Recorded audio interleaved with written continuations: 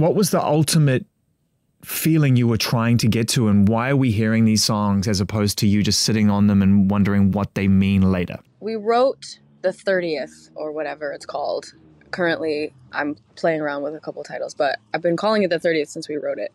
Um, we wrote that on december 30th and that was actually the first song that we had written since happier than ever. Wow. That's why it's called the 30th something happened on november 30th and it had just been the most i mean indescribable thing to have to witness and like experience. And i just i had i had, I had been writing down all these thoughts that i was having and i was like i was with Finneas and i was like I, i'm sorry I don't know what you were planning on doing, but I need to we need to write this song about this right now. And we did, and that was the first song we we, we wrote since uh, Happier Than Ever. And then with